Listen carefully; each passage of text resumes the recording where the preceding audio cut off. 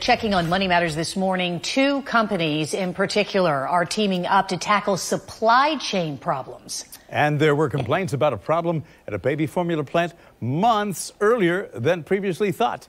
Jane King joins us live from the NASDAQ with those stories and more in this morning's Money Matters report. Good morning, Jane.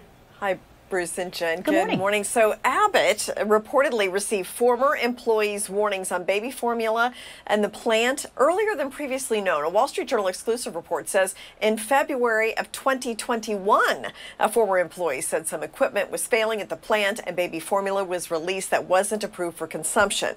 Now Abbott says it wasn't able to confirm those allegations. Well, Procter & Gamble announced a partnership with Microsoft to build the future of digital manufacturing. The agreement is going for several years. It will use Microsoft's cloud computing service to do what they say would be bringing products to consumers faster, increase customer satisfaction, and improve productivity and reduce costs. Well, Twitter has agreed to hand over what they're calling a fire hose of data, comprising more than 500 million tweets daily to Elon Musk. Now, the Washington Post says this is in response to Musk's threat to pull the plug on the deal because he doesn't trust the information he's gotten so far from Twitter on spam and bot accounts. And Amazon says it's blocked 4 billion counterfeit listings from being posted and scrubbed more than 3 million phony products from its site. This report says that Amazon blocked more than 2.5 million attempts to create fake accounts as well. That was a 58% decline from 2020. And the company attributes that drop off to its vetting process and other efforts to discourage bad actors. Life in the NASDAQ market site. I'm Jane King.